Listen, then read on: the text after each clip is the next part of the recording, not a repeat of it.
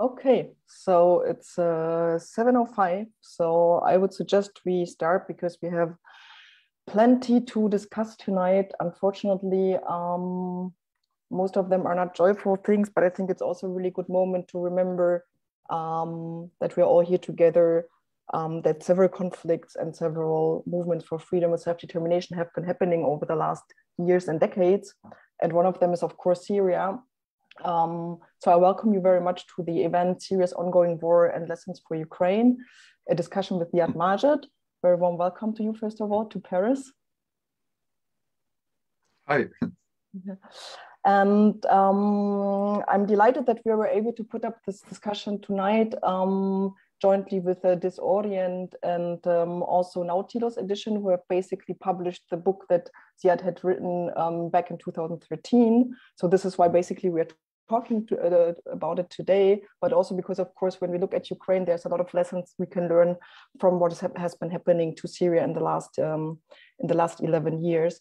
Um, so before I start, um, maybe just a quick word to myself, and then I would like to hand over to Christoph Dinkelacker from um, Disorient, and then I'm going to um, quickly introduce uh, Ziad and Harald, the translator of the book from French to German, without whom we wouldn't be able to read the book. Um, and then I will walk you through, quickly through the schedule for tonight. And of course, for you as an audience to also know when is the good time for your questions, your comments, your remarks, and your thoughts, um, because we, of course, aim it to be interactive.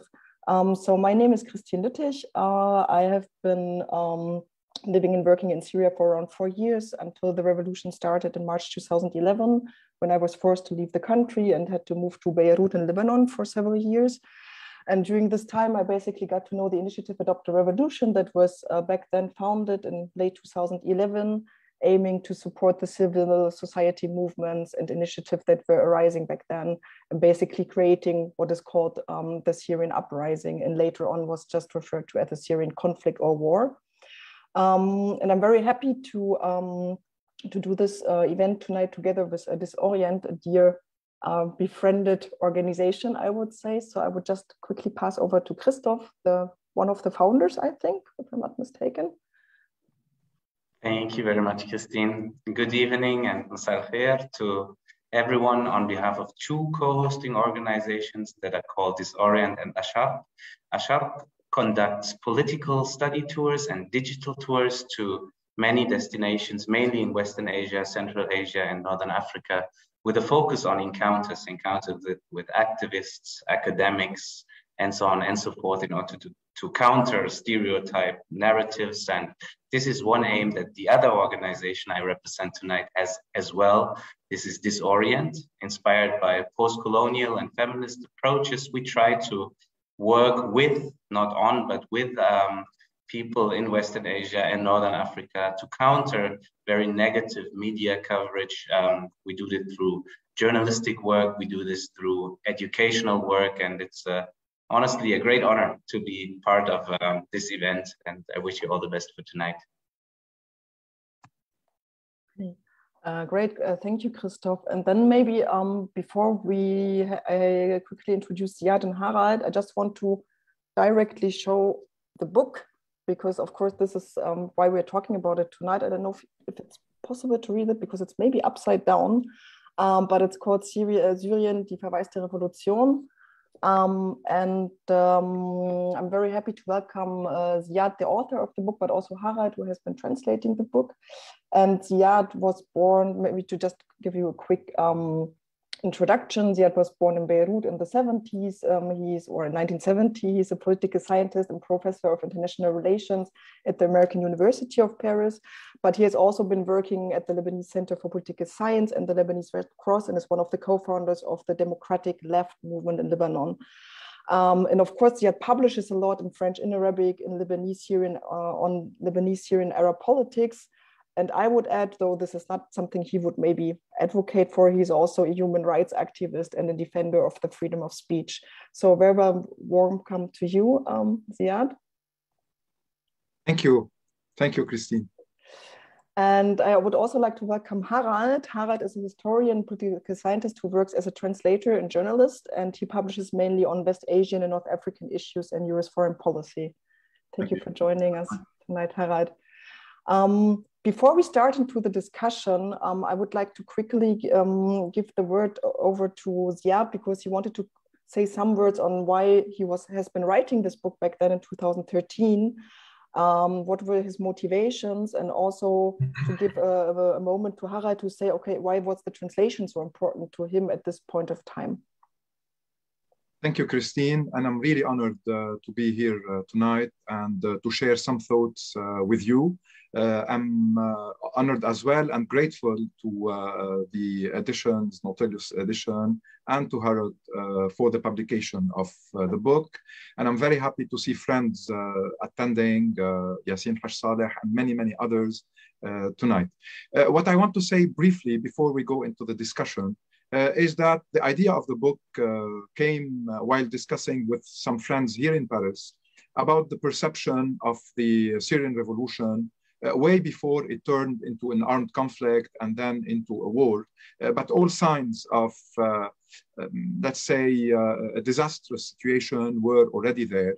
And around us, especially in the network of leftist intellectuals, of um, even people who might have some good intentions. There were many questions, worrying questions about Syria and about the revolution, either uh, with some uh, a priori concerning uh, Islam and concerning stability, uh, or about the conspiracies and uh, uh, about the fact that the geostrategic considerations impose themselves and in all those questions, uh, the Syrians were invisible. Uh, the Syrian sociology, the uh, Syrian struggle for decades was never mentioned.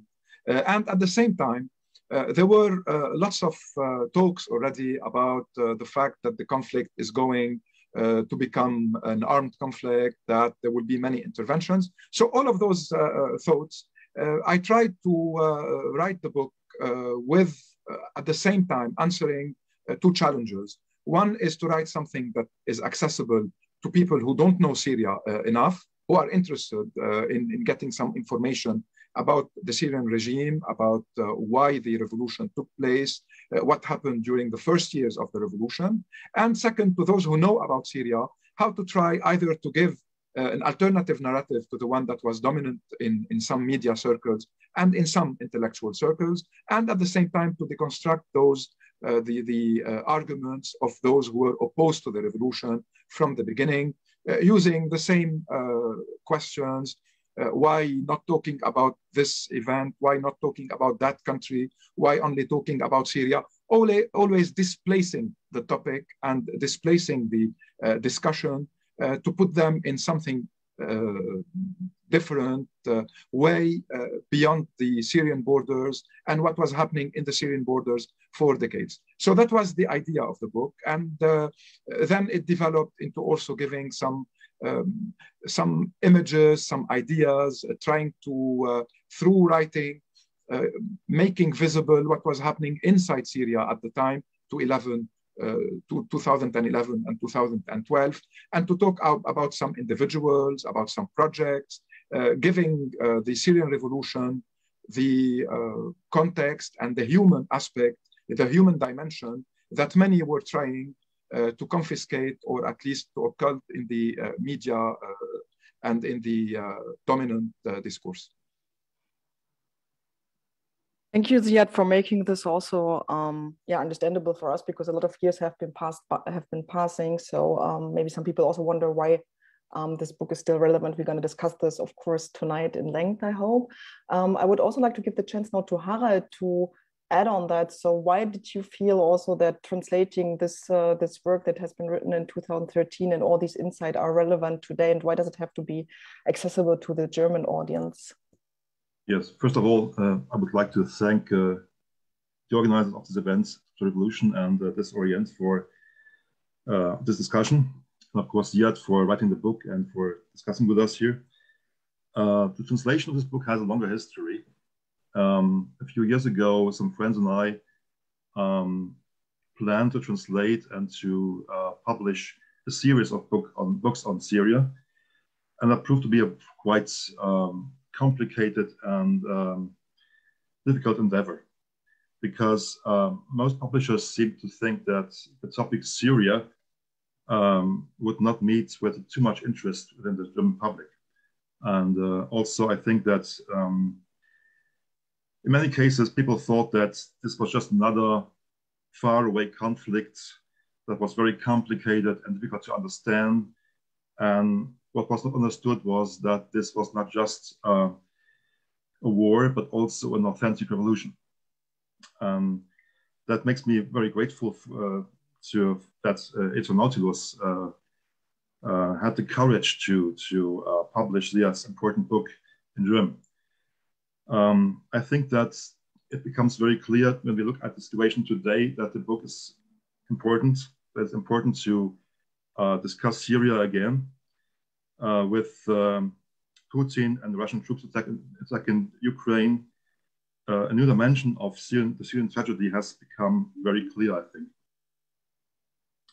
One gets the impression that uh, Putin is following the same script, the same play playbook uh, that he had for, for the invasion and for the uh, attack on Syria. And this is a script that's really um, the script of horror films and the script of death and destruction. Let me just mention three, three different points here. Um, airstrikes and attacks on residential areas and civil infrastructure, hospitals, for example. Uh, here, Syria has also served as some kind of, um, let's say, a testing ground for new weapons in, in, for Russia and uh, also uh, as modernization uh, for Russia's armed forces.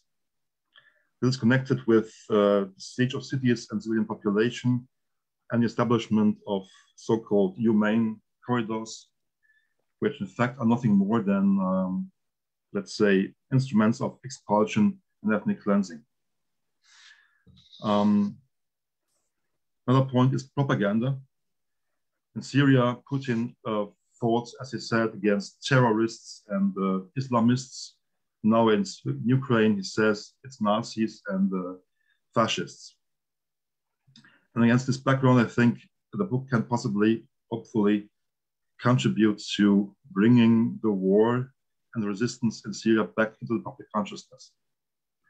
Um, this is even more important as the Assad regime um, today uh, has increased its attacks on the Syrian population again.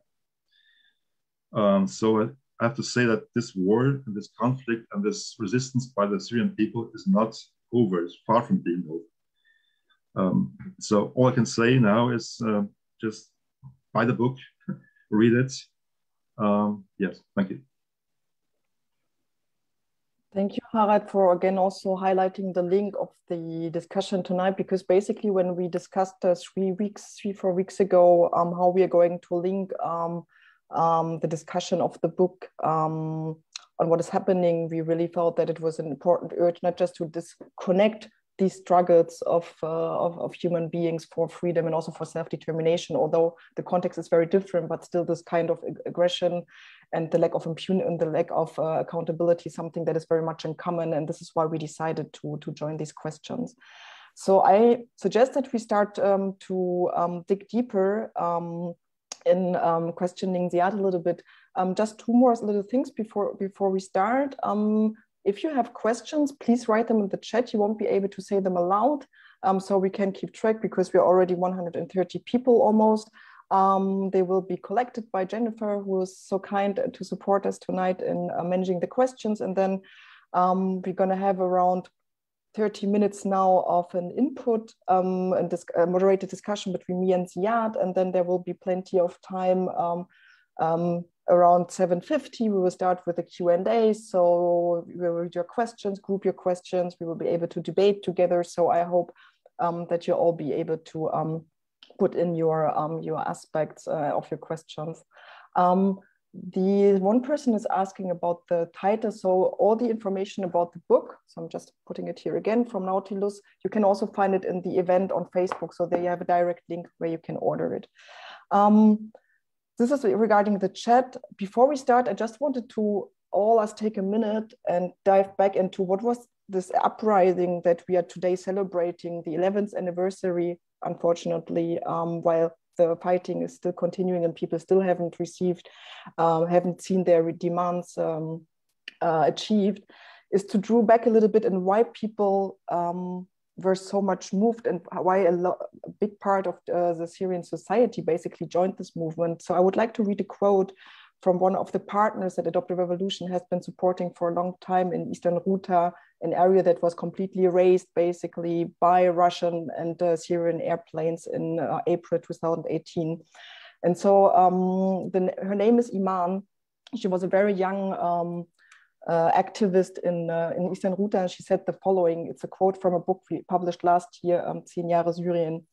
And she said, the protests were aimed exactly at what I had experienced to free a society in which everyone's ambitions, hopes, and dreams of us, young women and men, were even forbidden to exist. Now we could and we were allowed to take a free initiative to improve our society. Together with other women, I set up an initiative that was exclusively, exclusively dedicated to women related matters and that aimed to free women from the social isolation and marginalization into which they were forced in many places by the patriarchal macho society that Syria had been. So maybe Ziad jumping from that quote to just highlight a little bit this moment of freedom also. Um, what so still current about the book? What, why is it still relevant to talk about? Okay, now just also allow me to clarify that for the uh, German uh, version, uh, there was an update when it comes to the book. Uh, the book was translated, but uh, I've added a chapter on impunity uh, and on the series of crimes that were committed during the Syrian revolution, and war. and there was also a kind of looking into the last few years through um, not uh, writing uh, what happened uh, after 2013, but looking at major developments since 2013 and until 2021. So there is an update. However, what was uh, for me uh, striking at the beginning in 2011 is similar to what was just mentioned in what you uh, read, Christine.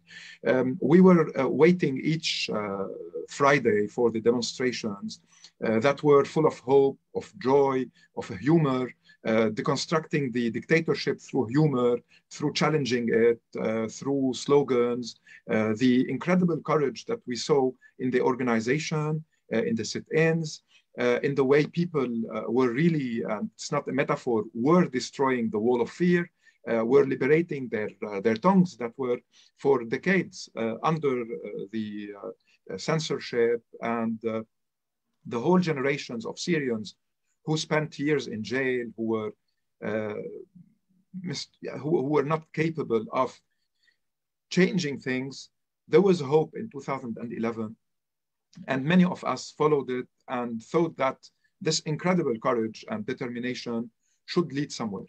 Unfortunately for the Syrians, and uh, due to many, many reasons that we can, of course, analyze, as of 2012, uh, we had the impression that already there is a new configuration uh, due to regional, uh, international questions, but also due to the um, ADN or DNA of the regime itself. Um, violence is by itself the policy of the regime, it's the politics of the regime. Uh, the regime does not just use violence to reach uh, some objectives. Uh, violence is its philosophy. It can take different forms, uh, and we have seen in Syria, it was a laboratory of violence. Uh, all uh, aspects and all techniques and all industry of violence uh, was uh, experimented uh, there and impunity allowed it to continue and to continue and to continue.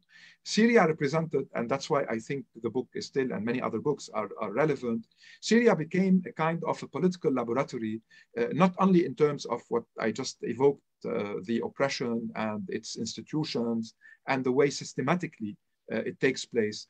Uh, this is the first conflict in modern times where we have at the same moment local actors with regional actors, with international actors, and then you have state actors, you have non-state actors. In terms of those who came to Syria, uh, first Iran mobilized a series of militias from the region.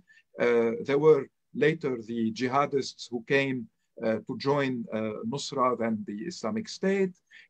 you have at the same time mercenaries that were brought by Russia, the famous Wagner Society, and then you have the Russian army itself. Then you have uh, Uh, many armies that in between uh, went and uh, intervened as well. So you have many layers in the Syrian conflict. And through those layers, the Syrian question and the original uh, uh, question, the people's aspiration for freedom, for dignity, I'm not saying that it was lost, but it disappeared when it comes to the series of confrontations that uh, Syria was, was, witnessing and continues to witness, fragmenting its territory, uh, fragmenting uh, the population, displacing more than half of the population, killing and uh, I mean, and injuring hundreds of thousands. So uh, there is something very special about uh, this conflict. And I think if one wants now to read how historically it evolved, uh, we can say that each summer between 2011 and 2018 was a kind of uh, game changer or modified what we had before in Syria. So summer 2011, after six months of peaceful mobilization, of demonstrations, of sit-ins, uh, the first signs of an armed struggle uh, appeared. It was clearly uh, now, uh, it was clear that many people are thinking that the armed struggle could be the way to overthrow the regime.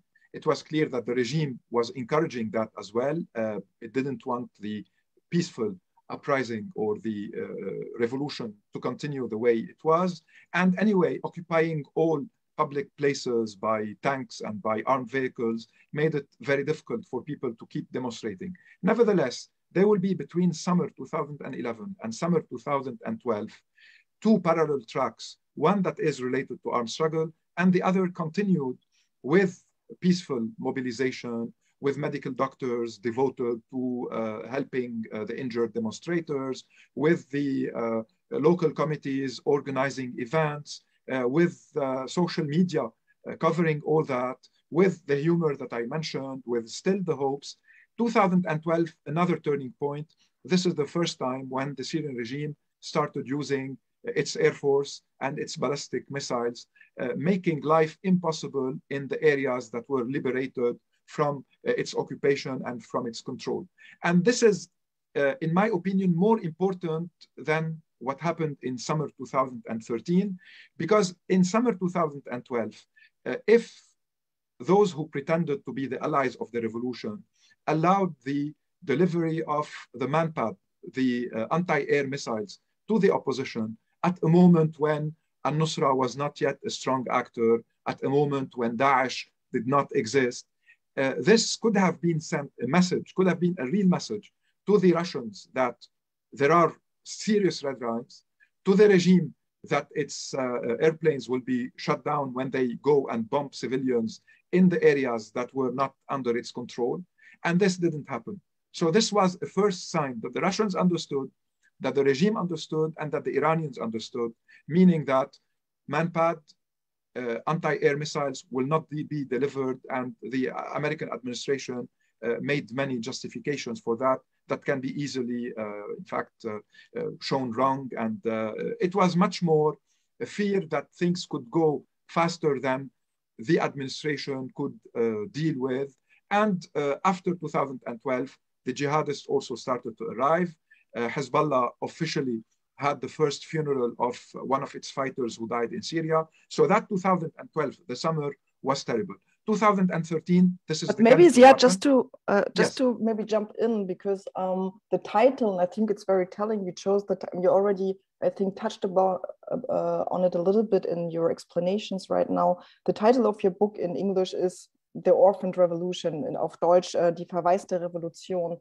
So why do you think so? Because right now we were focusing a little uh, very much on state perspectives right? Uh, regime perspectives um, government perspectives. But why also did a large part of the world public not show or very hesitantly show solidarity with syrian revolution? So what does it how does that also come in? Maybe it's a good point to just uh, look at that. Yeah, yeah I, I, will i will just to, to briefly finish because uh, the uh, it, it, it makes sense as well to explain why it's orphan uh, when the red line in the summer 2013 was crossed when it comes to the chemical weapon and nothing happened, it led in the summer of 2014.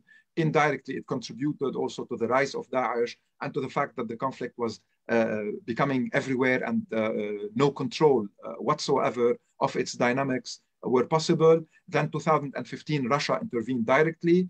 And from 2015 until today were almost seven years of Russian intervention. No sanctions were made against Russia. Uh, that also, this was a clear message that Russia has full impunity in addition to its veto right in the Security Council. 2016, uh, uh, we had the uh, Aleppo at the beginning of, of the fall of Aleppo, and then uh, 2017 Raqqa and uh, 2018 the Ghouta and then Daraa. So each summer meant something, and in each summer the revolution appeared orphan, uh, not only because internationally there was no uh, direct state support, but also because when it comes to intellectuals, when it comes to those uh, militants, to those who usually take positions, when there are noble questions, when there are uh, issues of struggle for freedom, for dignity, uh, most of them are from the left or do have a leftist background. We saw them silent when it comes to Syria. So the idea of an orphan revolution where millions of people were trying to seize back their right and to uh, uh, construct their, their destiny, their country. Uh, they were sacrificing lives and, and, and everything and did not have the support they should have had uh, from the international left, from the progressive intellectuals, from many uh, categories in the public opinions who usually are mobilized for these kind of struggles and of questions. So this push us to think why, to ask this question, what happened, uh, why it was not attractive enough, what happened in their minds, how did they see the Syrian revolution? Is it related to the fact that there is a certain culturalism that we might even call racism uh, that does label populations or considers that violence there is part of normal life. So people are born to die and to kill. Uh, in fact, even uh, people like Obama mentioned the fact that uh, conflicts in that region have always been there and will always continue to exist. So there was a kind of labeling the, the Syrian people when it comes to violence or when it comes to questions that we don't know who is the one who kills whom or who is the responsible of the crimes. Uh, that the Syrian opposition did not appear uh, as uh, one solid movement that is coordinated with a clear leadership, or that the figures of the revolution inside Syria were not uh, seen outside Syria when it comes to women activists, when it comes to people like Razan Zaitouni, when it comes to the medical doctors, uh, those who will found many uh, projects and many experiences in Syria. So all of that was invisible. And uh, the same rhetoric about regional and international questions and about the role of imperialism, the role of some uh, reactionary Arab governments, the fact that the Assad regime has uh, taken historically some stances against uh, imperialism, all of that uh, played against the revolution. And I think that one now with what's happening in Ukraine as well, can observe a certain trend among many leftists that is anti-political science, anti-historical uh, science, uh, political sociology. It only refers to the same question, to the same uh, actor, the United States, whatever the conflict is and whoever the belligerents are.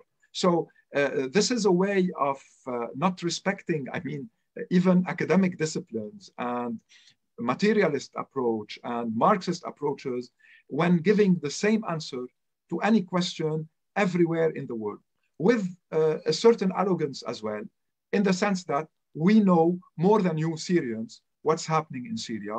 We know more than you Arabs who are emotional and who might be guided by remote controls uh, by those who have the invisible hands of the conspiracies.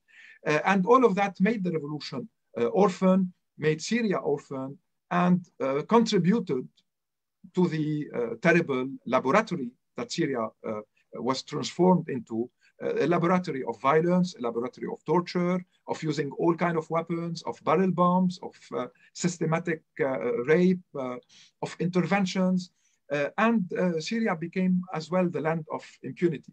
Now, some people might say that it is not the only case of impunity, which is true. We have impunity in Palestine and under the Israeli occupation. We have had it for decades. Uh, we had it in Iraq. We're having it now in Yemen. We had it in the Lebanese war, in many other places in, in, in the map, and maybe outside, of course, not maybe outside the Arab region as well. But let me say that since uh, the uh, violence in Syria became uh, so barbaric in the way uh, many actors deployed it against the Syrians, and especially the Assad regime and its allies, all conflicts that followed the Syrian conflict became much more violent as well. Uh, look even at Israeli operations in Gaza after 2011 in comparison with before. Uh, there, there is much more possibility of deploying force and, and bombing civilians than before. Look at Yemen and the war uh, in Yemen between the Houthis and the uh, Saudi alliance, the Emirati alliance. The same. Many Arab regimes now use violence against their opponents and dissidents and torture in jail. And they always would say that anything, anyway, we're not yet in Syria or we didn't reach uh, the uh, intensity of violence that people witnessed in Syria. So Syria not only was a laboratory, but also became a case study and became a reference in impunity and in deploying violence without fearing the consequences and the implications of that. So maybe because now we are already in the middle of the conversation, of course, and now I have to improvise because some of the questions um, you already, I mean, brought up a lot of questions. So one of the aspects that you mentioned is this a laboratory. And of course, we talk a lot about it when it comes to the Russian military, um, not only in terms of uh, new weapons that have been tested, proudly tested by Russia on the Syrian ground, something that is maybe not known to the bigger audience, but also when it comes to military experience. Um, but before we jump to that, I would like yeah. to change perspectives a little bit again from on the grassroots side, because it has also been a laboratory for Syrian society to self-organize and to emancipate itself. So I would be interested maybe um, not to draw back everything how it happened, but also if you look at it from today's perspective, what has prevailed, what has prevailed from this uprising that uh, continued for several years? Um, in fact, what prevailed is mainly the fact that Syrians are uh, much more than uh, in any time in their history uh, capable of writing their stories, uh, of documenting what they lived through, and even if at the beginning, many of them were still um, connected in a way or another to the trauma of uh, Hama. Hama is a city in Syria that witnessed in 1982 a terrible massacre uh, by the regime forces following an uprising by different oppositions, among them the Muslim Brotherhood. Many thought after 2011 that Hama is not possible anymore because now we're documenting, now uh, we're visible, now media will cover what is happening in our country and the world has changed. Except that Hama was produced and reproduced and reproduced many, many times between 2011 and, and yesterday. So uh, uh, I think the Syrians learned after that that it, it is their responsibility now to document, to write their story, their modern history, to defend their, their cause and uh, uh, to highlight the experiences that they have built through the years and I think one, uh, looking at the documentation effort, the Syrian uh, conflict is the most documented conflict in history.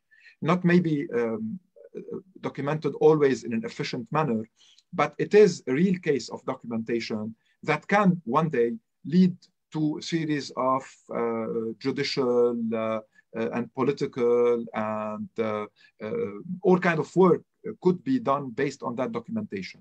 Uh, in Syria as well, literature developed uh, following the, the uh, years of, of war and of displacement and of exile.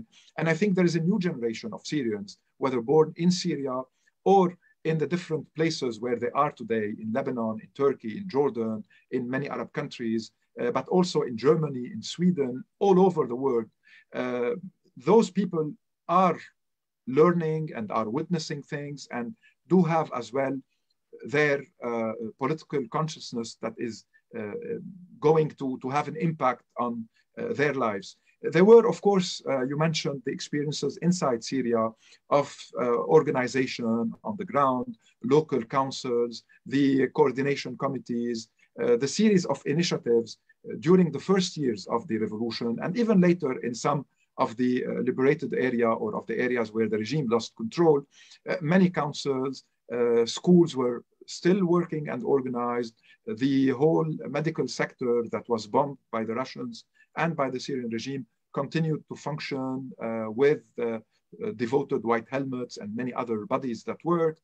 Uh, you have uh, uh, those who, as well in Syria, showed solidarity initiatives in the different places that were besieged or in the places where uh, hundreds of thousands of displaced people arrived and tried to make their uh, life uh, or to build their life again there. So I think there were lots of achievements, but unfortunately, when the war continues and when the, the horrors continue, uh, we cannot always see them. We will need some time uh, before uh, re-examining the Syrian theater and the Syrian scene and draw lessons about all what the Syrians lived through and built through the years. But I know that in terms of the arts, in terms of the visual arts, in terms of cinema as well, in terms of culture in general, uh, there is a new emancipation and lots of dynamics uh, that uh, uh are important and uh, will uh, keep questioning the world and will keep imposing on the world to read. and as we probably all are witnessing today with the Ukrainian war, many media are once again, or not once again, are talking for the first time in some cases about what Putin did in Aleppo, about what Putin did in uh, the Ghouta or in other places. Yeah, yeah. We did not hear that discourse a few years ago when this was taking place. So also it showed that the narrative of the Syrian people will reach uh, one day the uh, mainstream media and will become part of an international uh, public opinion and public view of what really happened in, in their country. Exactly. And maybe this is something that for us as Adopt a Revolution has also been striking because, of course, I mean, many of these initiatives that you have been mentioning are still active inside Syria simply because many people were not able to flee the country. Um, so one of the things that really struck me a lot is I think we published several days ago a piece that was written in English originally by um, Syrian feminist and activist uh, Marcell Shehwaro. She's a very well-known activist to many who have been following the Syrian uprising and the Syrian um, conflict. And there's an ongoing, very sad joke we are right now doing within Adopt a Revolution, and it's called "We Told You So." Hashtag and I think one of the things that was striking to us was in this piece, but also in many of the conversations we had with our local partners. Um, and there I would like also to you know, now maybe quote one of the partners we have inside Syria, Huda, is that basically said, we are in disbelief that this is happening again. We have been witnessing, we have been writing about it, we have been documenting our death, our injuries, our displacement, but no one was believing it or wanted to look at it and now we're doing it again. And what was very striking and emotional for us was to say that while Syrians are witnessing this again, and this is still happening, basically, it's not over just for us to remind that again, we are in the 11th year also of atrocities being committed against yeah. civilians. There was a huge wave of, of solidarity from Syrian activists and initiatives, even based inside Syria with the Ukrainian people, something that really, really like gave us goosebumps in the uh, when we were sitting together and talk and Huda, and maybe to jump on the role of Russia and how this also really was a game changer. I mean, you said 2012 was a game changer in terms of how the conflict unfolded and how basically there was no way maybe back. But then when Russia entered the um, uh, with its forces on September 13, uh, 30, 2015, so more than uh, six and a half years ago, um, it was basically a game changer in the sense that while the Syrian, while the friends of the revolution, the so-called Western countries and other um, countries um, were basically just administering what was happening, there was active support by the friends of the Syrian regime, so as to name them Russia, Iran, yeah. and Turkey. And uh, Huda, and she's a female activist that we are supporting. She has been displaced from uh, Eastern Ghouta, and she's now still active in Idlib. Um, she said the following about uh, Russia. Russia said terrorists, and they meant us, civilians. Targeted attacks on markets, in which more than 100 people were killed in one fell, have been part of our everyday life ever since. It has used bunker busting missiles and shelled medical facilities and schools. The Women's Center I run was also hit at the time. a young English teacher, was killed. I still remember to this day the crying of her infant crying for his mother in hunger. And while you remained silent as we were assassinated and fled, Russia largely achieved its goals. It paraded the West, destabilized Europe, and expanded its geopolitical role. You allowed all of this, and now, like us, you stand before the ruins of your politics.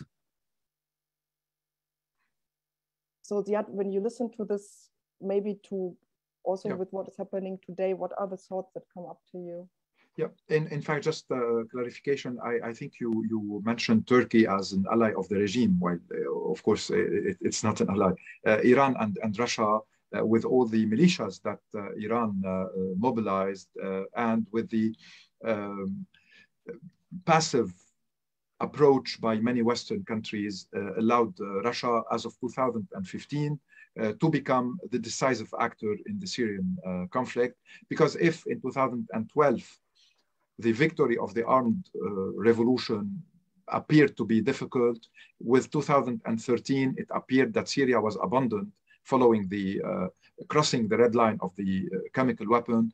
And as of 2015, it was clear that overthrowing the regime was not possible anymore uh, unless Russia approves it because Russia tried in 2015 uh, to, uh, at the same time, imitate the United States in 91 during the first uh, war on Iraq by deploying its military force, by using strategic and tactical missiles even from the Caspian Sea, uh, by all air force attacks and the, the, the different weapons that were, uh, uh, that were deployed, but also the US 2003 war on Iraq that happened without the United Nations Security Council approval, uh, uh, very similar to what Russia is doing now in Ukraine. In 2015 uh, and until today, uh, Russia officially declared that first in October 2017, the Minister of Defense of Russia said that 200 new weapons were used, were tested in Syria. Four years later, in 2021, he said that 320 weapons were tested in Syria, meaning were tested on the infrastructure, on the population, uh, on military targets, on hospitals, on schools. Uh, so it was a laboratory, even not as a metaphor, politically speaking, but in terms of the destruction and in terms of the crimes, and no sanctions were ever taken against Russian officials because of what happened in Syria. There were few sanctions because of the 2014 Donbass war and the annexation of the uh, Crimea, but not for all crimes that were committed in Syria, documented in Syria. Even more, the United Nations said that it used to give the Russian Air Force some coordinates or addresses of hospitals so that they are not bombed by the regime. And the result was that they were the same hospitals were bombed and were targeted by sophisticated weapons to make sure when they are underground that they are hit and destroyed. So there are a series of war crimes and crimes against humanity that are documented. But once one we know that the Security Council should seize uh, the uh, Syrian question so that the uh, the the court would examine it and uh, see what kind of crimes were committed, and uh, this will always be faced by a Russian veto which takes us to another question that is the whole international system, how unfair it became, how obsolete it is uh, when it is paralyzed by five members who have the veto, veto rights and who can use them now not to keep certain balances uh, or certain equilibrium when it comes to international relation, but rather to protect their uh, allies, to protect some regimes who are violating international law and uh, committing war crimes. So the Russian intervention in Syria you can uh, look to many similarities, uh, as it was said at the beginning when you started and when Harald evoked three levels of comparison, eh, even the question of propaganda eh, that was eh, used, similar software, similar terminology to justify the war. And those who today support Russia in Ukraine used similar arguments as well when they used to support Russia in Syria, or if they pretend that they don't support Putin, they will say exactly as some people used to say before about Assad and Putin, that, well, we don't support Vladimir Putin. However, and after the however, they give all kind of justifications for his war, for his invasion, either blaming NATO, and NATO definitely could be blamed for many, many mistakes, but uh, this cannot justify the invasion of a country and its destruction. Or in the case of Syria, uh, blaming all kind of conspiracies and that uh, Putin and Russia would like to defend their ally. And uh, in fact, this is also part of the Russian propaganda at the time that had some uh, appeal and, and did have a certain success among many regimes even in the region. That is, we are loyal to our allies. We don't abandon our allies as the Americans abandoned Hosni Mubarak and uh, uh, Zain al-Abidin bin Ali and other allies, while we, after being uh, betrayed in Libya, we will not allow anything to happen in Syria. But even this thing that was supposed to happen in Syria was not in the agenda of the Western actors themselves. And this is the dilemma of Syria. Many were opposed to the Syrian revolution, pretending that there are some people manipulating it in Western capitals, while the West itself, on many occasions, show, when I say West, I mean governments, of course, showed how not interested it is and how low on its priority Syria is, uh, either because uh, they didn't have a clear vision on where to move and how to move, or uh, because simply they did have many problems in their own countries with the rise of the far right, with the rise of new political culture that is very much uh, xenophobic, that is opposed to any kind of refugees. Uh, America, after the wars of Afghanistan and Iraq, uh, Obama was elected because partly because he was promising less American engagement in world affairs and more focusing on domestic questions, on economic issues, on racism, and on many uh, national priorities. Uh, so the West has been for the last two decades in a new approach to world politics uh, where priorities are not to direct involvement, are not to direct engagement. And the Russians know it. And that's why all what they can keep bringing as an example is the United States in Iraq in 2003 and the lies of the Secretary of State, Colin Powell, in the United Nations when he pretended Iraq had weapons of mass destruction. And through that lie, they keep using it in order to say that nothing proves what uh, you are saying today is true. Who said that chemical weapons were used? Who said that hospitals were bombed? Who said uh, that uh, the opposition to Assad is not just the Islamic State and the jihadists? Always asking questions to create doubts and to relativize any truth, to make truth, in fact, something that you will never find.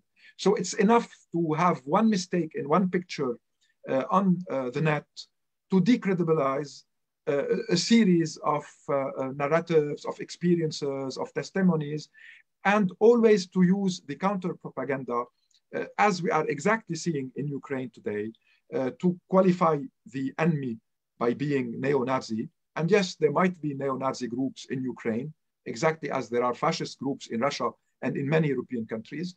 Uh, and yes, there were jihadists in Syria, exactly as uh, they might be uh, Shia jihadists defending Assad as well.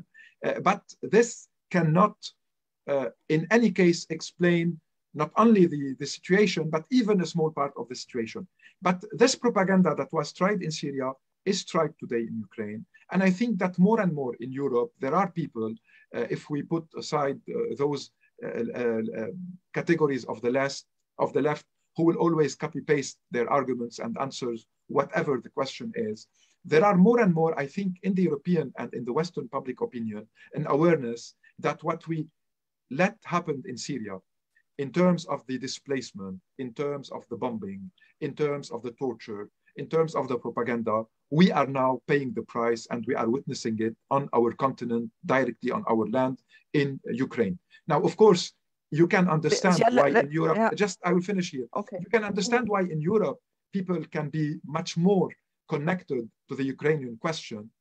But this cannot justify the racist uh, comments by many politicians and, and media, uh, I mean, workers, uh, who uh, said that the Ukrainians are like us, uh, or that uh, we feel more sympathy because they're just white and Christians, while we don't have the same feelings and emotions, concerns when it comes to the Syrians, to the Iraqis, to the Afghanis, and of course to the sub-Saharan Africans who were left uh, to die in the Mediterranean Sea before. And maybe this uh, is a very good uh, thing uh, to bridge, Ziad. So maybe as a last question, and then we should um, give possibility to um, look at the questions and start the the interactive part in this um, in this evening. Is that if we look at the whole situation, and this has been showing in many different contexts and conflicts before, is that basically we see that from a governmental side, this promise of protection um, of civilians has not been basically uh, fulfilled, right? It has been um, it has been voided of any sense. I mean, there are even resolutions like the responsibility to protect, but of course, it would require a lot of, um, yeah, let's say, uh, um, commitment uh, politically, financially, also militarily, humanitarian, that has never been basically um, um or very rarely realized. Um, if you look at the UN system, and you have described this very well, because of the veto, because of a very um, long needed reform in the UN Security Council, basically you have perpetrators of war crimes and crimes against humanity, like the US, like Russia, like China, um, who are basically able to veto themselves um, and protect themselves. So, and then you have, of course, everything that is called the so-called political realism. That many analysts loved and many politicians also advanced by saying we don't have any real interest. Um, as people who demand protection for civilians, you are dreaming, we would like to, but this is not realistic. Of course, this is kind of ridiculous if we look at where we are standing now today, whether it is in Syria or Ukraine or many other conflicts. So let's change the perspective for this last, um, the mm. last, uh, the last mm. minutes of our discussion before we enter the Q and A. So from as someone who is also not just an academic, but also looking at from a movement perspective. And you have talked about the failure of or the lack of solidarity, I would say, from uh, from international peace movements and other movements with the Syrian cause. What can we learn regarding Syria, but also Ukraine, on how these movements and these initiatives, and I guess many people who are listening and watching tonight, what must, must we work on? What are the questions we have to address so we can also face this kind of um, ambitions that governments have to always basically keep postponing, keeping up the status quo? Hmm. Well, I, I don't have a clear answer, uh, Christine. Uh, we, we kept uh, saying in meetings and um, in encounters and debates uh, that uh, we have we are we're lucky to be in uh, democratic countries where we can criticize uh, the, the governments here without fearing the implications of that.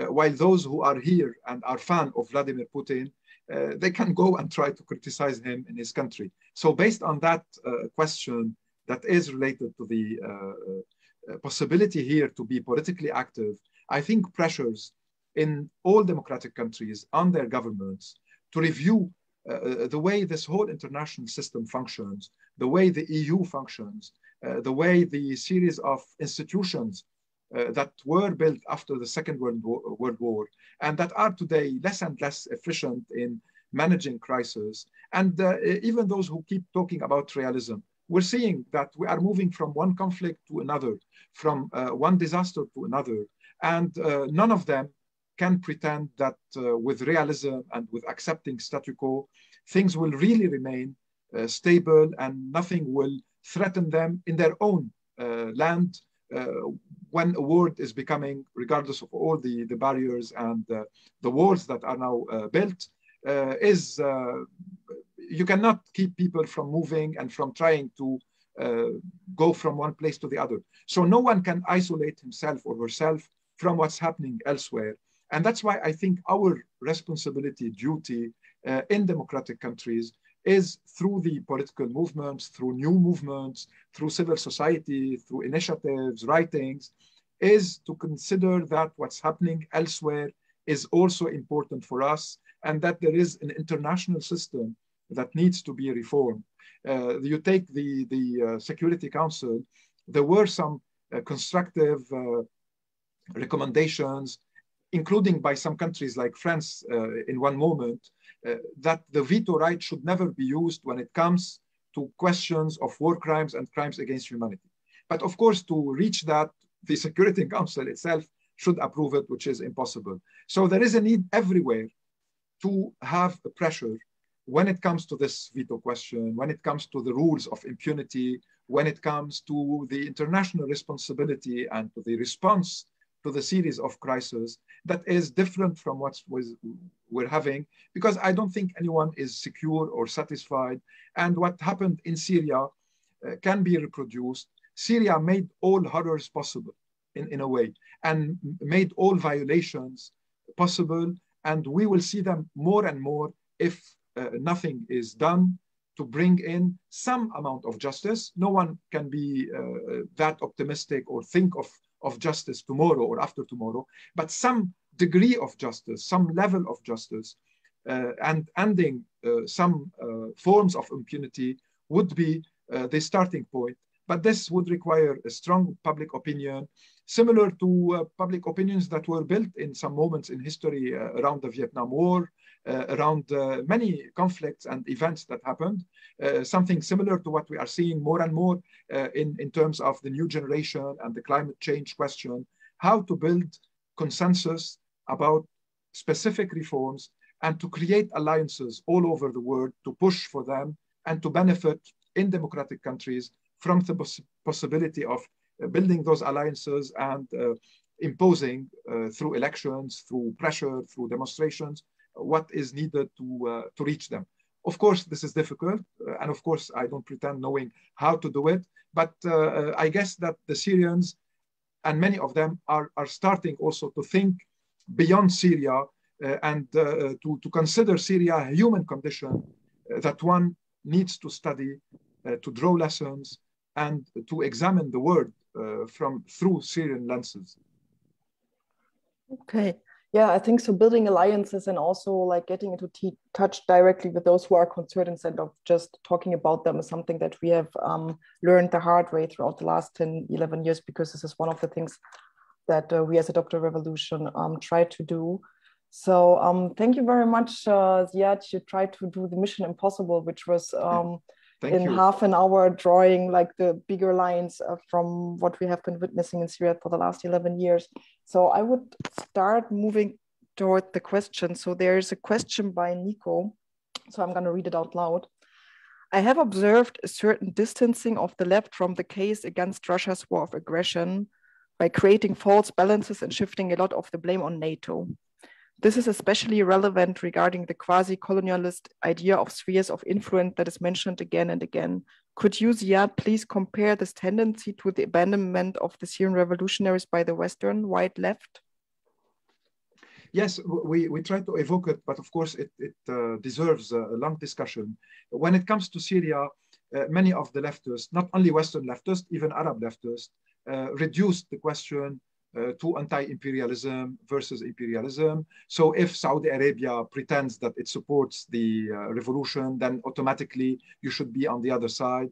Uh, if Iran supports the regime, it means that the resistance axis against Israel supports the regime. Or if Assad uh, criticizes American policies, it means he's an anti-imperialist who deserves uh, to be uh, supported, regardless of anything that is related to Syria and the Syrians and the millions, the tens, uh, the millions of Syrians and all what happened in Syria and around it. So there was a kind of uh, simplistic approach by uh, by the left, and this approach, that's what I try to say, is neither Marxist nor materialistic nor uh, related to political sociology, to history, to international relations. It's the same software that is lazy, that is arrogant, and that imposes itself wherever there is a conflict you can look uh, for an invisible American hand somewhere.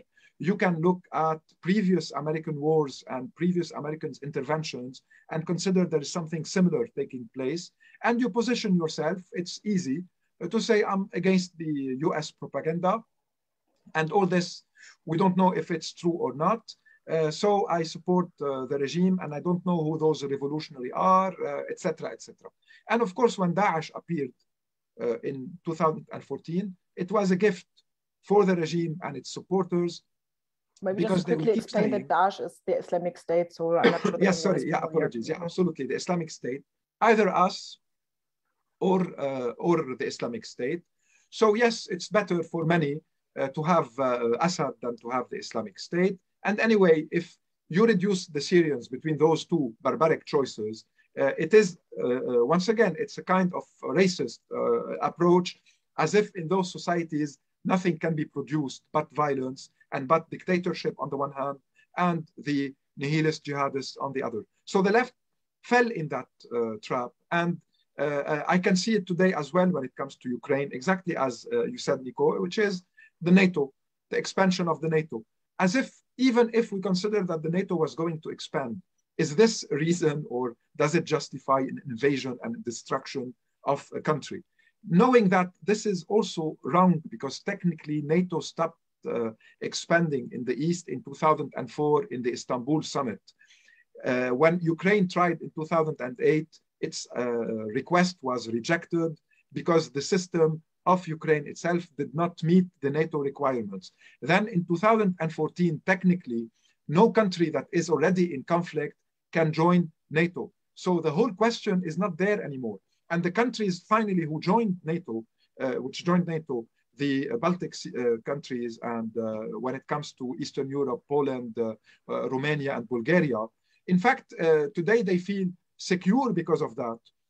and if Ukraine joined NATO before, maybe the invasion wouldn't have taken place. So I think this whole question is, in a way, a matter once again of making the real history of Russia Ukraine uh, inappropri- inappropriate to explain what's taking place, to make Putin and his series of wars in Chechnya, in Georgia, in Ukraine itself in 2014, in Syria, plus the assassinations of his opponents, uh, plus uh, his intervention recently in Kazakhstan, in Belarus, make all that irrelevant and just keep saying NATO, NATO, NATO, America, America, America. This is this is becoming uh, so sad when it comes to some leftist intellectuals yeah. who surrender to this easy way of uh, deleting political science and just keep blaming uh, a country that is to be blamed for a series of interventions and crimes in yeah. history. Ziad, I will this have to jump in because we have more questions. Sorry. So, um, so I will I will be a bit stricter moderating you. You forgive, forgive me, but I just want to be able I will follow all the questions. So Jalal Jazairi um, asks, how can we compare both Syria and Ukraine when in Syria there is a semi-legitimate regime inviting the Russians to help, and Ukraine is a democratic gov government fighting under Russian occupation against Russia. So where are basically the limits of comparison? He's asking. Yeah. Now, uh, if we take international law, uh, it's true that the Syrian regime that is recognized and uh, kept having its seat in the United Nations asked Russia to come and to bomb its own population.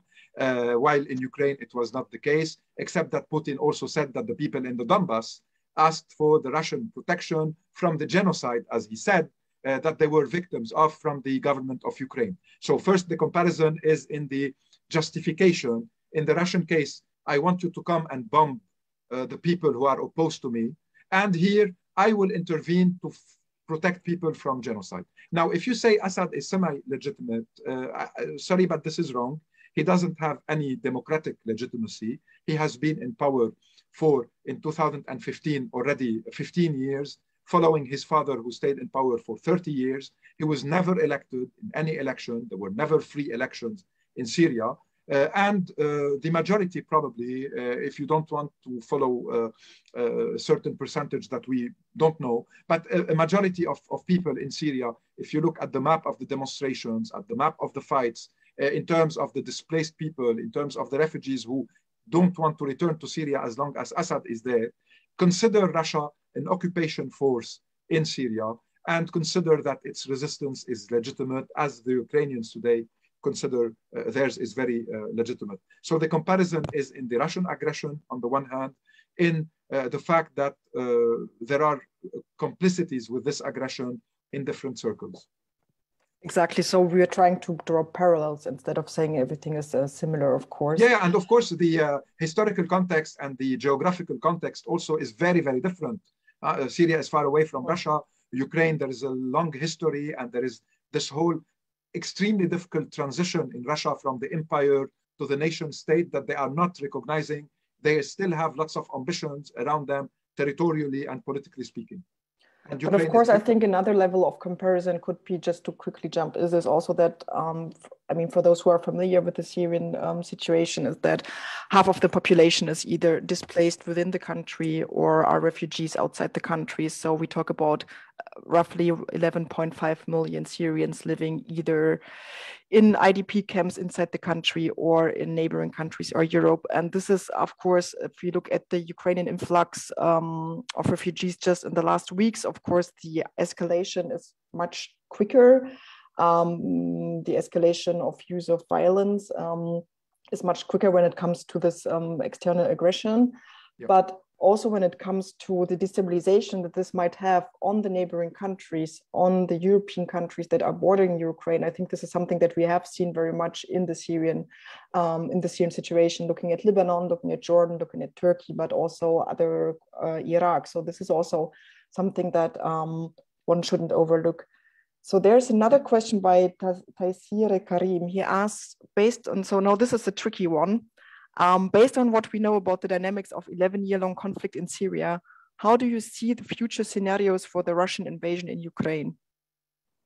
Yeah, but, uh, well, I, I it's uh, I can't answer the question. I don't know what will happen in Ukraine. What is clear, however, uh, in Ukraine so far is that uh, uh it's not only a matter of occupying Ukraine by the Russian army. It's also a matter of destroying the infrastructure of the state, uh, destroying the military, making the annexation of the Crimea and, and the Crimea and the, the Donbass a reality on the ground, and probably imposing a long siege on Kiev to end with the current government there.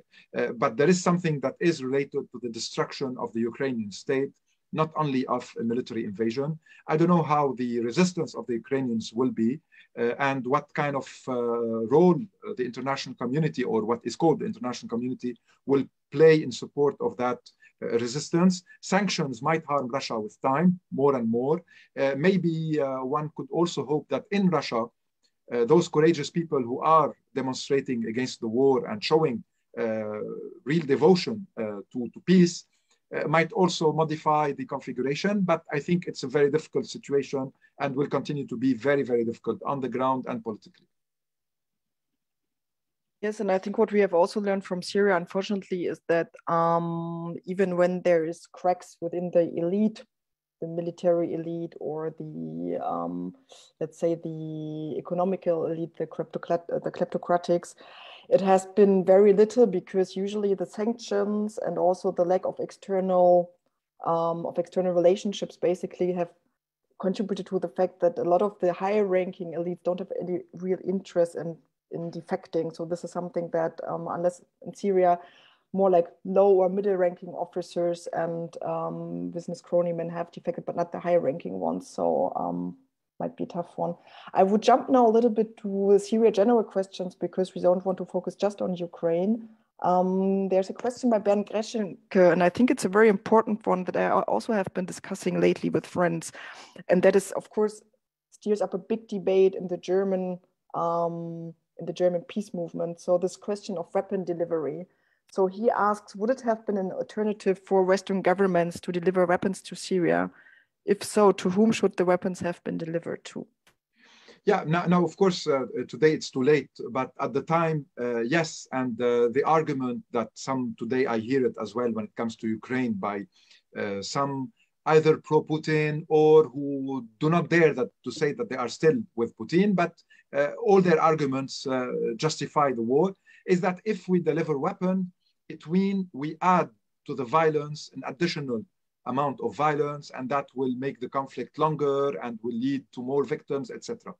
Uh, the, the counter argument is that if weapons are not, not delivered, so the idea is that the Ukrainians today or the Syrians before have just to surrender and to be uh, massacred by the powerful uh, Russian army or the Syrian regime army or, or, or. So in some cases, sending weapons could be the best way to limit the damages of the war by forcing the strongest to understand that he cannot continue and that uh, uh, a compromise is needed. Or at least if it does not limit the war, it allows people who want uh, to defend themselves and to resist whatever the cost is to do it in an efficient and in, a, in a well, I mean, uh, organized manner. In the case of Syria, yes, if anti-air missiles were delivered in 2012, this is a political message that the regime is not allowed to use its air force uh, as it did to bomb any region that went out of its control and to make life impossible in that region. Uh, we could have imagined many scenarios if the north and the east and the south of Syria was freed and not bombed in terms of political experiences, in terms of the, of the uh, uh, displaced and refugees who could have stayed in Syria uh, with lots of hope to build something alternative, even in terms of the rise of the Islamic State and the jihadists in general. If all the Syrians who are outside Syria stayed in those regions and were not bombed by the Air Force, they could have modified the whole situation in this area. Leaving the Syrians to the Air Force and to the barrel bombs, to the destruction that happened, allowed Russia later to intervene as well without the fear that it might lose anything, militarily speaking, while in the air and while bombing the civilians and the fighters of the opposition. So yes, if the, the, the weapons were delivered to the Free Syrian Army that existed at the time, or to some groups who were under the control of, uh, in fact, when you deliver sophisticated weapon, you need to train those who will use them, and you might know who is using what and where. Uh, you can locate them. Uh, the new uh, generation of weapon might even have a digital print. So if it's stolen or lost, no one would use it anymore. There are lots of things that could have been done, but this was not the case. And later the argument became, we don't know who's who and to whom we can give it. Uh, it might fall in the wrong hands at the end. This was after 2014. But between 2011, 12, 13, it was very possible to have the Syrian Free Army and many of its divisions in different places uh, uh, using those important devices and other forms of weapons. But of course, and maybe this is a good um, transition for the next question by Cristina Bendig Laranjo. Um, she's asking, I mean, there have been many Syrians, especially when I was at this point in, in Lebanon, um, who were really reluctant of picking up the arms, right? They said yes. that we are a peaceful revolution. They saw also that there's a um, the risk of jeopardizing, that there's a risk of little um, of uh, war empires and warlords that were rising up. Um, so those who wanted to act uh, peacefully, and so here she's asking speci specifically now about the Syrian diaspora.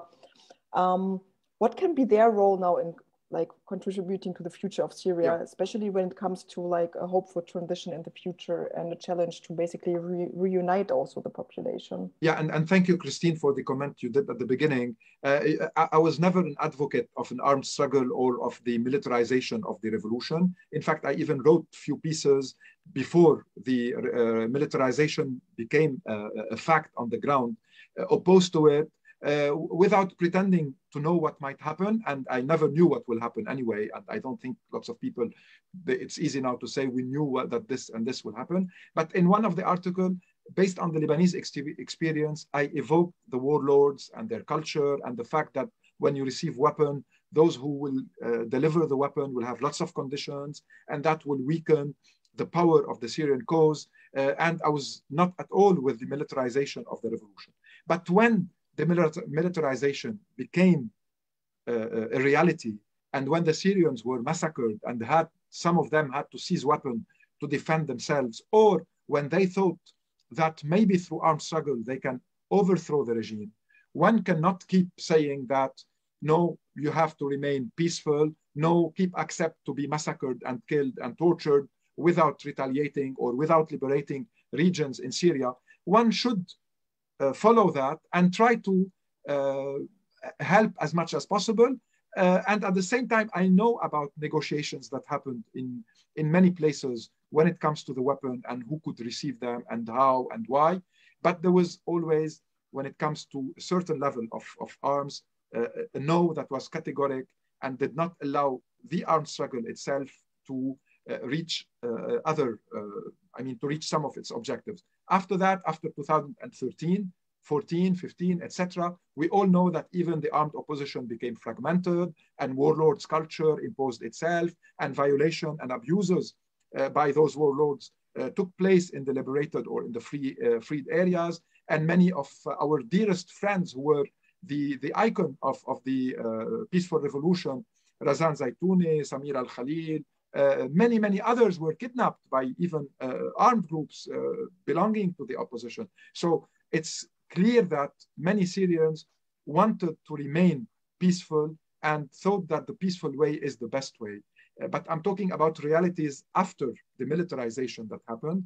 And today, the Syrian diaspora and uh, people who live in, uh, in areas that are not under the control of the regime I can't uh, tell them what, what is their responsibility, but I think uh, uh, more and more awareness about the Syrian question, speaking to people in their language and in their direct, I mean, contact and environment, keeping the Syrian question alive, working on the issue of impunity, uh, reminding people of what happened in Syria in the light of what's happening today in Ukraine, all of that showing solidarity with the Ukrainians, uh, showing solidarity with uh, all people who are under oppression, making more and more what, what Yassin al-Haj Saleh evoked as the Syrianization of the world, but from the uh, other side now, meaning uh, the awareness in the world about Syria and not only how uh, some parts of the world are becoming uh, similar to Syria.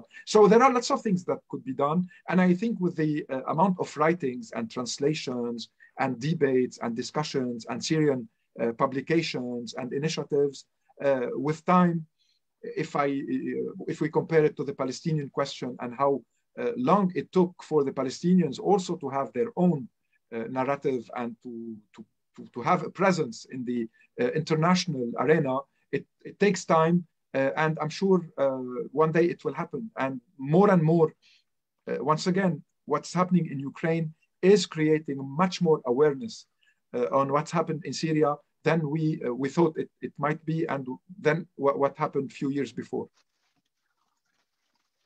Yeah, maybe to add a small word, I mean, because we are also, as Adopt a Revolution, supporting several initiatives and youth initiatives that are um, that are active, basically active here in Germany as diaspora groups. And what I find quite quite impressive and really gives me a lot of um, strength for the future is that there um, are people really gathering to have like political camps and debates uh, among themselves. You know, a space they never had inside Syria because when before the revolution, this was impossible. You were you were prosecuted, persecuted. So more than three people gathering was basically an illegal assembly, and you could be detained for that under the uh, terrorist uh, under the emergency law that has been installed in '63, and that was only lifted very lately, I think, in 2012. Um, another aspect is so then when the revolution started, from day one, there was sharp gunshots fired. There were people directly being detained, injured, tortured in hospitals.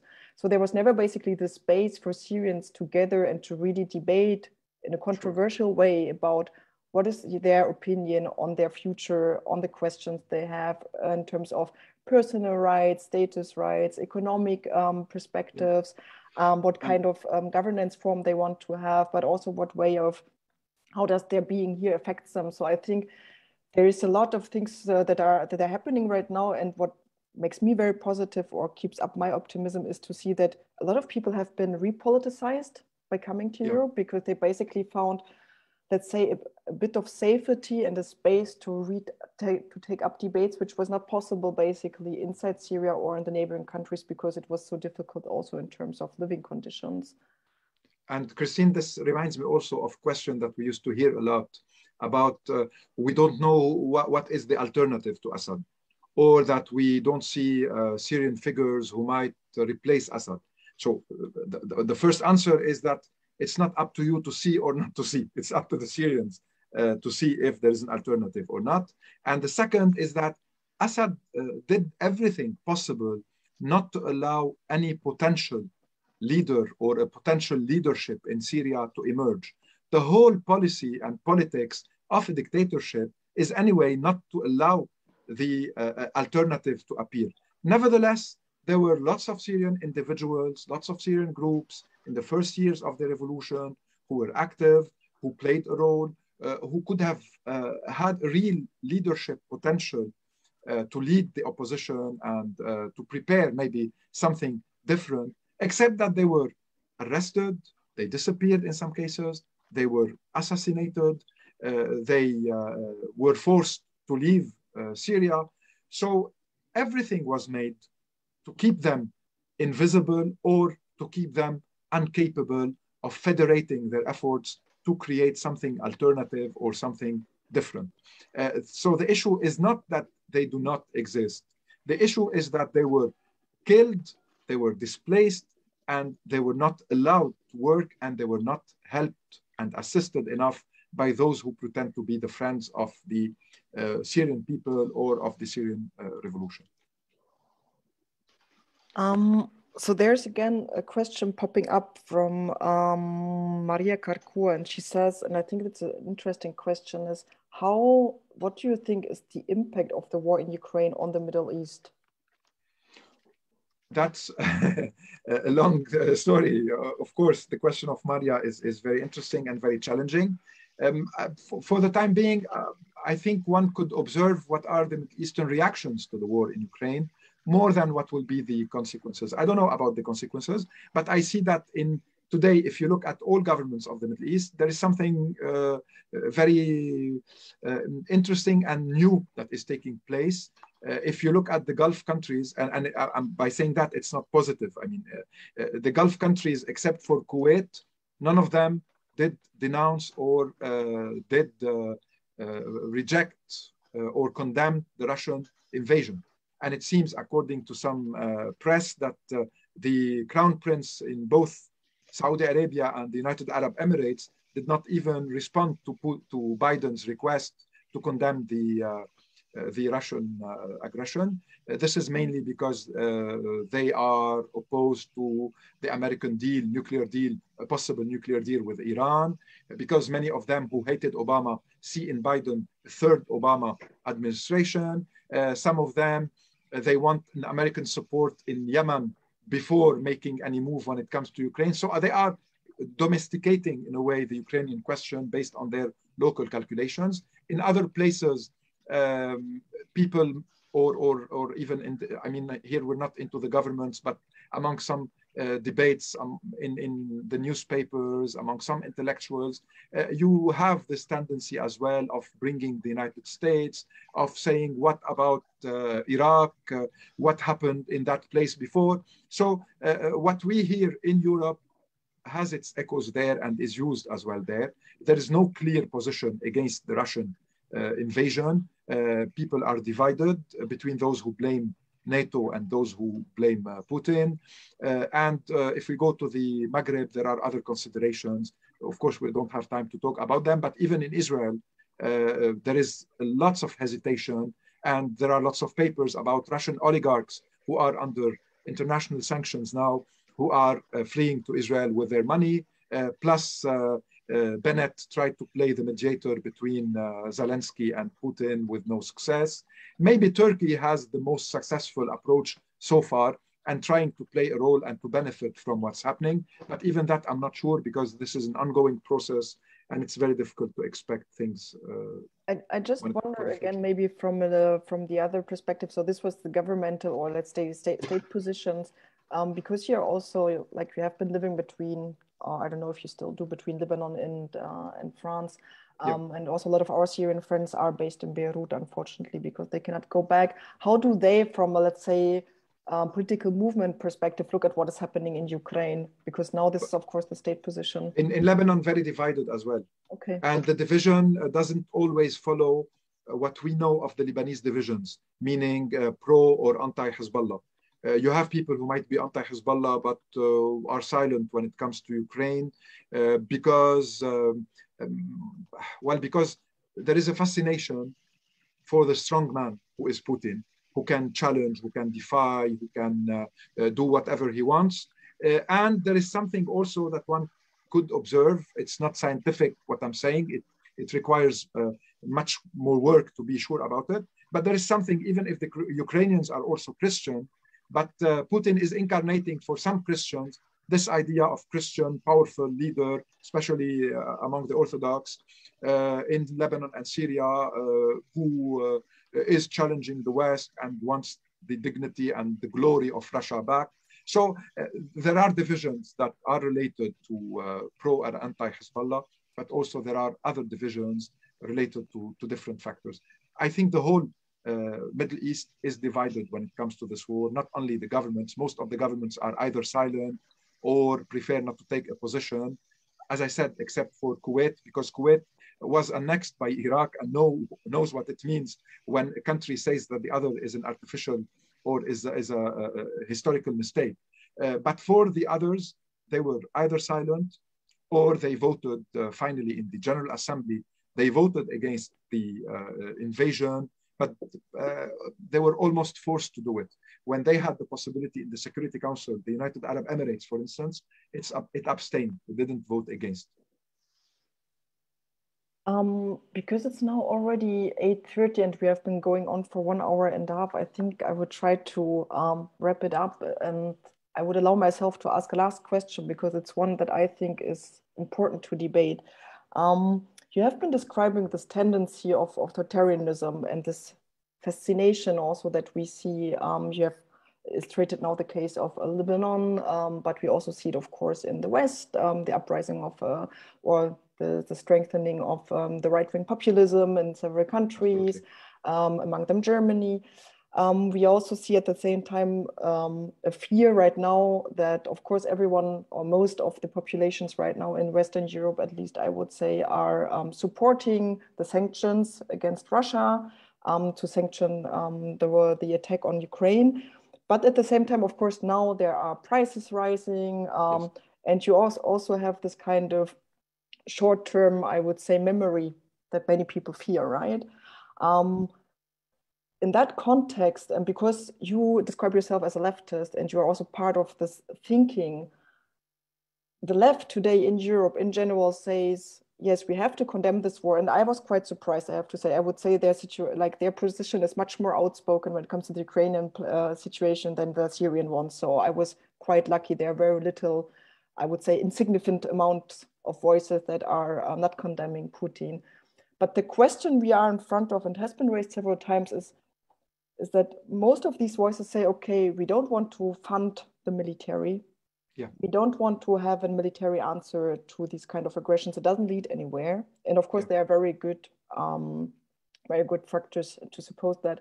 But then, what do you think is the debate that should happen today among a progressive, leftist, transnationally, um, to protect civilians at the same time when you face these kind of leaders that are basically protected by the international uh, system yeah. as it is today? Yeah. Well, this is a very uh, difficult question, uh, Christine, but I think, yes, uh, allow me just to say something that it's true now that many of those who used to defend Putin before uh, feel a bit uh, embarrassed. They try even to erase some of their YouTube videos or some of what they said a few years before. But even those people, when they say that Putin has changed and that the Putin that they are seeing now is not the same that they knew before and defended before. This is, of course, wrong because the whole rise of Putin to power uh, went in parallel with the use of force, with violence, with uh, uh, war crimes and crimes against humanity in, in Grozny, with a series of war that we, we mentioned in Georgia, in Ukraine, in Syria. So it's not something new and that Putin now uh, has surprised them. So that's why they modified uh, their position. But it's for sure that there is something uh, taking place in the public opinion in Europe. When I saw recently that 90% of the German uh, support the sanctions, 80% of the French, 89% of the Italian, that was an Ipsos figures that, that, were mentioned the, the day before yesterday. It means that, yes, this war has shocked the Europeans uh, and showed them that they're not far away and it's not only the refugees who sometimes arrive who remind them of the horrors of the war. It is now on their uh, land, and this might be an opportunity uh, to uh, work on uh, new alliances uh, among leftists or among progressives in general against the war, opposed to the war, but not opposed to the war with the uh, old fashioned rhetoric in which you're opposed to the war, but you don't take a real position against the aggressor and against the responsible of the war.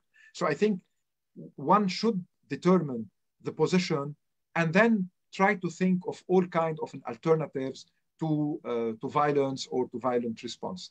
For now, the best thing to do is to support what the Ukrainians want. And it seems that they want to resist the invasion.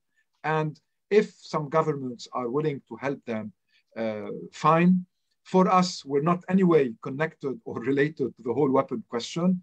Uh, we can have our position when it comes to uh, with or against sending weapons, but it will not change uh, things anyway. What we need to create is those solidarity network with the Ukrainians, with the Syrians, with the Palestinians, with the Yemenis, with, with sub-Saharan Africans who are under pressure, with any uh, cause, I mean that uh, bringing back the long heritage of the left Uh, uh, when it comes to internationalism, to humanism, to solidarity, uh, and uh, the rise of the uh, far right, but even among many non-far right categories, the lack of interest in democratic institutions and the anti-establishment stances that we hear uh, did allow the Russians to use their propaganda and to decredibilize democratic institutions in the West that have definitely lots of weaknesses and vulnerabilities and uh, many mistakes were committed and part of the elite is corrupt and the whole international system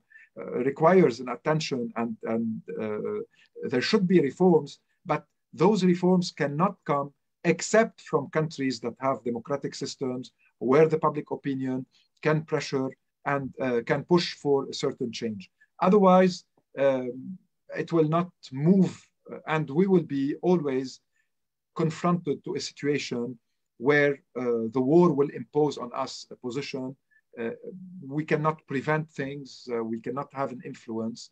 And I know it's not an easy task and I don't see it happening soon, but maybe with a new generation, uh, maybe with the uh, university students, maybe with those progressive uh, groups that are trying to do things related to feminism, related to environment, related to racism, uh, related to confronting and, and fighting all forms of discrimination, I think the potential is among this kind of new political culture that will bring uh, together different causes and will then look as well at the causes of democracy, of uh, human rights, of social justice, not only in the country where it lives, but elsewhere in the world. Uh, either we think uh, as an international community, we as civil society uh, members, activists, intellectuals, workers, etc., uh, or we will remain uh, contained in our territory and everything will be imposed on us. And the best thing we can do is to react. So this is, I think, uh, an important question and would require lots of work uh, between people who are interested in, in dealing with it.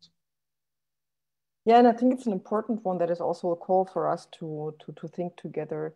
Um, there are, I don't know yet, there, how, how's your energy? Because there are three more sort of questions, but I'm, I'm ready. Yes, okay, yeah. great. So then I would quickly call these. Um, so maybe to um, there's a question regarding the book by Christina also Laranjo, and she asks, so on your observation on the emancipated new generation and the ongoing movement, is this part of your book or could you recommend any further literature that tries to? No, it's not part of, of the book. I, I can recommend literature, yes. Uh, I can send you an email and maybe she can be in touch with you uh, with uh, some bibliography. I don't have so... a book in mind now. Yeah. Okay, so Cristina Laranjo, if you listen to me, maybe you can just write your email in the chat and then this um, we could pick up on that. Um, then there is a still um, a question regarding um, this idea of, so more, on the Syria-Ukraine question. Um, the person asks if Professor Majed argues that Syria was a laboratory for political violence, this laboratory's results were used by the Russian government not only against Ukraine, but also against its own Russian population? One can fear, of course, that uh, violence uh, would uh, develop in Russia if there is a strong opposition uh, to Putin. And we know now that there is a legislation uh, that uh, would enjail people for 15 years if they are opposed to the war. Even they cannot use the term war they have to talk about a military operation. And we have seen thousands of people arrested in Russian cities while demonstrating against the war and against the invasion of Ukraine. So definitely there is a violence, uh, a violent uh, reaction by the Russian authorities, by, by the Putin regime against uh, the opposition. Uh, there were in the past many assassinations and assassinations attempts against journalists and dissidents, uh, and we can see that happening again. But of course, I, I would not compare what happened in Syria to what might happen in uh, other places. Uh, I said it was a laboratory of violence because everything was tested in Syria, everything. If we're talking about non-conventional weapon, uh, chemical weapons were used. If we're talking about bombing, not only the Air Force attacks, but also barrel bombs, which are the most primitive, barbaric, and criminal ways of, of killing people. Uh, torture, systematic torture, industry of torture, uh, rape, the, the policy of hunger, the question of telling people that no one could save them by uh, the displacement through those humanitarian corridors. In international law, according to the uh, Fourth Geneva Convention, civilians should be protected. They should be protected where they live, not they should be protected if they are displaced and if uh, there is an ethnic uh, cleansing or demographic modification by just expelling them after bombing them and besieging them. So everything was tested in Syria, name it, all kind of horrors were tested with no limits uh, by the Syrian regime and its allies, uh, and in some cases by ISIS, and in, in, some minor cases by other groups. There are statistics. We know who killed whom in Syria. Uh, when you bomb an area, uh, everyone knows what kind of air force uh, the planes belong to which country, we're not in uh, the 19th uh, century now. Everything is documented. Uh, all airports and security services know who's flying and who's bombing which region. we know who disappeared where and what happened to those who disappeared in Assad jails. So Syria is an exception, but one can fear that with the amount of violence that was tolerated in Syria for seven years, new amounts or new intensity of violence might appear in new conflicts and in new civil wars. Uh, and uh, there are alarming signs of that uh, already in the Middle East, but this can be uh, outside the Middle East. Plus, Syria witnessed as well the professionalization of mercenaries through the Wagner uh, society. Uh, and it witnessed the jihadists on the Sunni level, on the Shia level, it witnessed occupations. If you look at the Syrian map today, it's fragmented. There are many occupations. There is a Turkish occupation, American occupation, and an old Israeli occupation, and definitely now the largest occupation that is the Russian and the Iranian one. So, uh, what do you want in terms of regional, local, international, uh, the types of the actors, the non state actors? Everything was tested in this Syrian uh, geography on the Syrian people. Uh, and uh, that's why I, I, fear that more and more we will see sign, we will see atrocities in conflicts as long as impunity uh, remains in place and as long as no criminals are arrested. It's true now that there are things taking place in Germany when it comes to impunity in, in Syria, and that's excellent news. But of course, uh, we're talking about another level, the one of those who are in, in, in charge and uh, the head of states or the, the head of organizations who committed war crimes and crimes against humanity. Yes, because there is, for example, right now, very interesting initiative by the new head of the International Criminal Court, who has been evoking crimes that were committed in Georgia uh, by certain Russia's uh, certain Russian officials. Um, one of them has even deceased, if I'm not mistaken, um, as basically um, a sign of relevance for what is happening today. So there is a possibility also, even if from a legal perspective, it's impossible to transfer the Syrian um, the Syrian atrocities in front of this court because of um, the veto right of Russia and because Syria is not member to, to this court. Um, there's a last question I, I, think I would, would like to take and then we could uh, sum it up.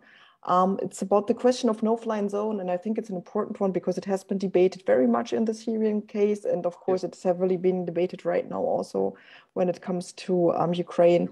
Um, so the person questions, um, would a no-fly zone help?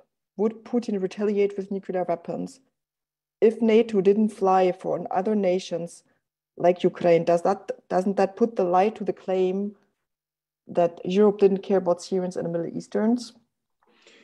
Now, um, there was less importance for Syria and the Middle Easterns, uh, definitely. Anyway, it's uh, it's an observation. I mean, uh, the uh, European support, humanitarian support as well, not only to Syrians, but to all refugees coming from the Middle East or from Africa, uh, has been, I mean, very limited in comparison to some great solidarity that we see today. And one should support the solidarity of today while condemning the lack of solidarity in the past uh, uh, to, to make it uh, just clear. Now, uh, when it comes to the no-fly zone, it's much more complicated in, in Ukraine, and I think it's even impossible because it will uh, require uh, uh operations or it will require clashes with the Russian Air Force and with the Russian uh, defense system. In Syria, it was much easier before uh, the Russian intervention because at the time there was only the Syrian regime that was using the Air Force. And if there was a will to impose a no-fly zone, they could have imposed it in 2012 and 2013 directly, as they did in uh, Libya. Now, the problem at the time was that in Libya, they did it through the Security Council because uh, Russia and China abstained from voting, didn't oppose their veto.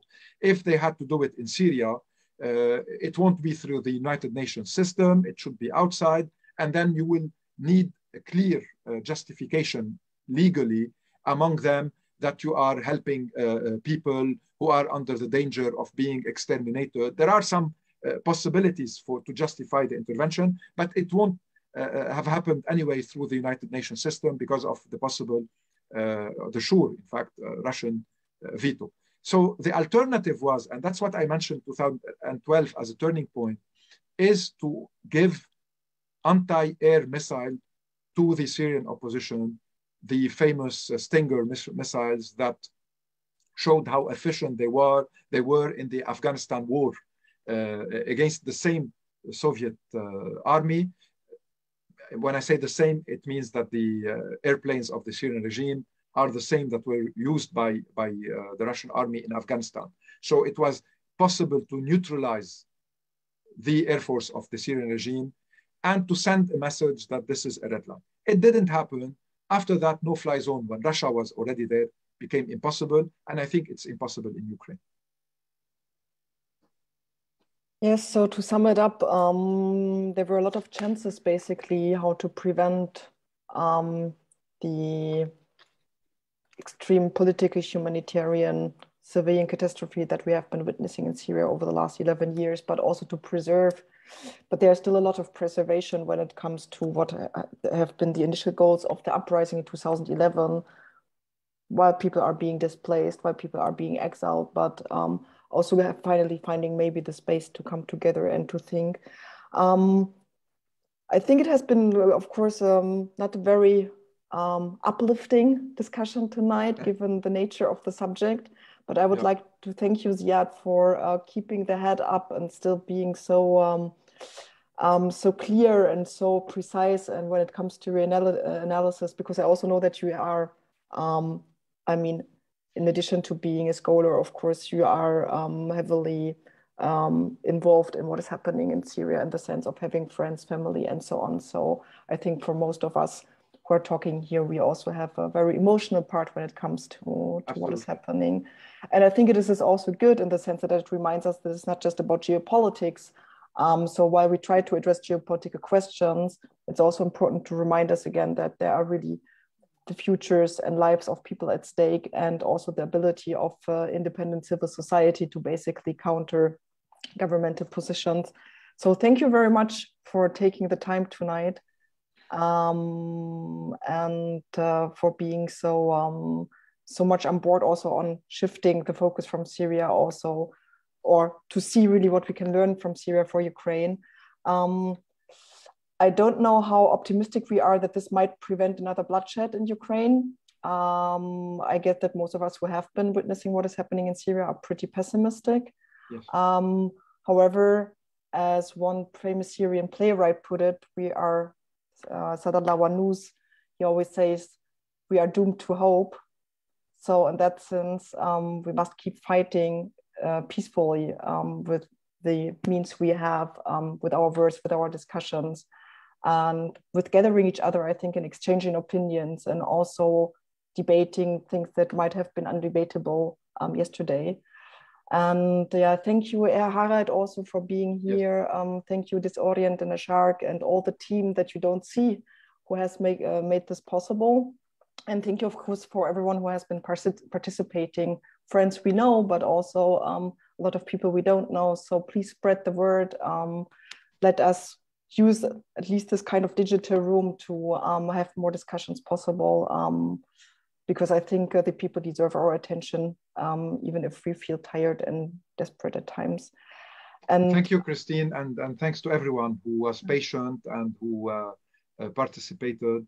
And thanks to Harald for once again uh, translating uh, the book and for the uh, edition Nautilus. Do, do I pronounce it correctly? Nautilus? Yeah. Nautilus, yes. Nautilus for, for publishing it. yes. and thanks for you and for Adopt a Revolution and Disorient and Alsharq.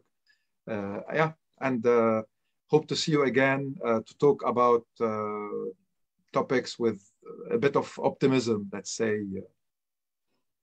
Yes, and in that sense, you. just to put again the book so if you, and I strongly advise you to support your local bookseller and not uh, the big companies who, whose names I won't mention here. And when you are going to the bookstore, most of the bookstores right now are also organizing very special um, curation of Ukrainian authors and literature. So I also invite you to um, take home the book of the art and then maybe also some Ukrainian writers and um, try to see um, how we can connect the dots. So in that sense, I hope we can spread solidarity on that level. And thank you everyone and have a good um, Tuesday evening. And let's hope that things are gonna get better than we expect them to be. Have a great evening. Bye-bye everyone. Thank you. Shukran. Thank you. Bye. Bye. Bye. Thank you.